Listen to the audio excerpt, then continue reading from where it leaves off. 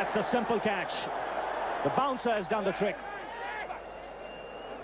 Again going for the big one over mid-on and only top edging it. So West Indies pick up another wicket. India five down.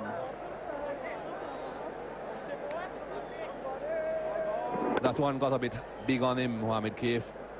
That's why he was unable to control that pull shot. Well, Ricardo Powell has been fielding so well, I don't think anyone expected him to drop that. It's 2.31 for 5.